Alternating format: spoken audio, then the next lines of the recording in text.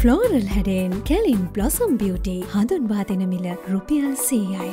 දෙදහස් විසිතුන වසර අවසන් වන විට මෙරට පැවති අමරිකාන්ඩොල බිලියන දාහතයි දශම පහක පමණ විදේශීය වාණිජනය ප්‍රතිවගත කිරීම පිළිබඳ ඊයේ ප්‍රතිපත්තිමය එකඟතාවකට පැමිණ තිබෙනවා. ජාත්‍යන්තර ආයෝජකින් නියෝජනය කරන බැඳුම් කරහිමියන්ගේ තාවකාලික කණ්ඩායම සහ දේශීය මූල්‍ය ආයතන නියෝජනය කරන ශ්‍ර ලංකාවේ දේශීය සමූහය සමග සිදු කළ සාකච්ඡාවකදී මෙම එකඟතාවට පැමිණ ඇති බව ජනාධීපති මාධ්‍යංශය නිවේදනයක් නිකුත් කරමින් සඳහන් කළා. මෙරට සෛරීත්ව බැඳුම් කරවලින් සයට පණහකට වැඩි ප්‍රතිශතයක් මෙම කණ්ඩෑම් දෙක සතුවීමද විශේෂත්වයක්. මෙම එකඟතා මගින් දෙදහස් විසි අතර ජූලි මස ස්ථාපනය කරන ලද ඒකාබද්ධ ක්‍රියාකාරී රාමුවට වඩා ශ්‍ර ලංකාවට විශාල ණය සහනයක් හිමිවන අතර නව කොන්දේසිවල දක්වා ඇති පරිදි පොලි ගෙවීම්වලද අමතර අඩුකිරීමක් සිදුවනු ඇති. මිට අමතරව ශ්‍ර ලංකාව දළ වශයෙන් අමරිකාන්ඩොල බිලියන තුනෑදශම තුනක පමණ ස්වෛරීත්ව ණය ප්‍රතිවකත කිරීමකට අදාළ ප්‍රධාන මූල්‍ය කොන්දේසි පිළිබඳ චීන සංවර්ධ බැංකුව සමග ප්‍රතිපත්තිමය වශයෙන්